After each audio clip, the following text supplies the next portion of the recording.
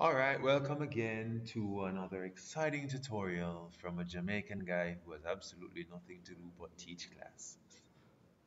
Alright, we're at Blender again and what we're going to be looking at is just setting our very simple scene so we can work on the setting a smooth shading face, um, smooth shading, look at subdivision surfaces and also adding a few materials to our object. So it's a very simple scene. We're going to be using our cube. I'm going to add a floor uh, so that's I can just hit spacebar and choose add plane. Plane is really just a two-dimensional surfaces. If we looked in our polygons tutorial that we had before, then you'll be able to see that the different polygons um, and a plane is one of them. So I'm going to scale this up about 40 times its ordinary size. So press S, hit 40, and we get 40 times its normal size. Next one, right clicking on this, pulling this up, right? And we're gonna add a monkey. Let's pull the monkey up. I'm going to go in orthographic view, which is 5 on the numpad. You can see my shortcuts with my screencast keys. And let's just quickly turn around using 6. And just rotate this uh, about like this. And carry this down using your manipulators. I'll scale my monkey in just slightly so it's a little smaller and just put it down. Once you do that, we need to carry the camera up to get a nicer looking uh, composition in terms of 3D space. So Shift F for your flyby mode and just carry it up. Right, just that. Probably carry it around a little bit, uh, like so. If you want to, you can put this as a first person shooter kind of perspective. Uh, what I'll do for my camera, if you've never heard of um, rule of thirds, it's a composition term where you can get a better look based on the thirds that are in your scene. So um, let's select our camera for one and just change the settings so I can actually see my rule of thirds here. Composition guides, thirds. So it looks like there's a good rule of thirds. The monkey is the focus there.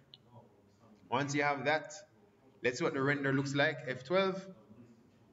By default, shh, shh, shh, shh, shut up. Recording. Jeez. All right. So this is Blender's default renderer.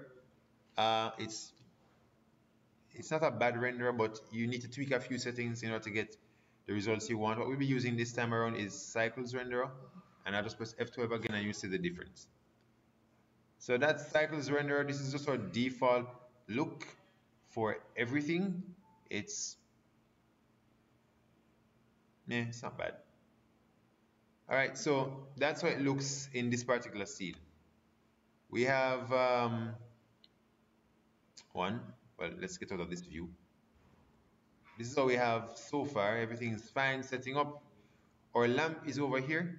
This is the light source that's there. And once you have those set up, then we're good to go. So it's a very simple scene. What we're going to do is I want to show you um, how to get smooth shading and also look at subdivision surfaces, which is a modifier in 3D. So I'll just simply highlight these two and I'm going to duplicate them by pressing Shift D to duplicate and I'll just carry them out on the X axis. So we're going to have three of them. Shift D, then X, and I can just that. So now we have three monkeys and I'll just change the composition again. Just carry this up so that those things are in scene.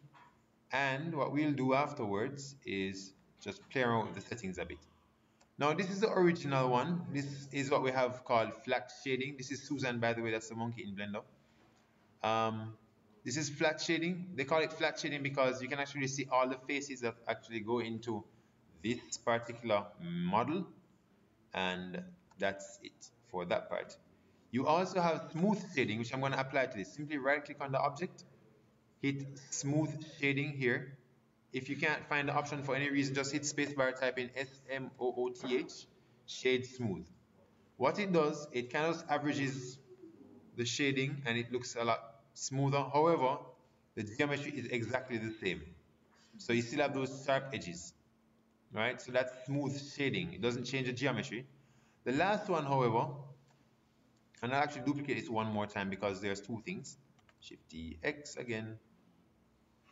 Uh, for this one, what we'll do is apply what we call a modifier. A modifier allows to manipulate the object without actually setting it in stone, allowing to kind of well, modify it, as it says. So add modifier, you have one that says subdivision surface. If you hit subdivision surface, it actually smooths out the geometry of the mesh, right? But this still has flat shading. So what I'll do is just do the same thing. Subdivision surface and just saying right? If you increase the view amount, you can actually increase the resolution of the monkey. Truth of the fact is, is that it's still, if you look at it closely, it's still flat shaded because you can still see the polygons. Right? But if you hit smooth, you get a much smoother mesh. Right? And I'm going to lower the view to 2 or even 1 because you still see a significant amount of difference just with combining this with smooth shading and you can get better results. So three monkeys, one with flat shading at its most basic level. The next one is just the same basic monkey with uh, smooth shading. This one has a modifier in there called subdivision surface, which smooths out the geometry itself, or the surface, if you want to call it that. And this one actually has both subdivision surface as well as smooth shading. So I'm going to wrap up here and then when we come back, we're going to actually put some materials on our monkey. Thank you for watching. Like, share, subscribe. Have fun. Yeah.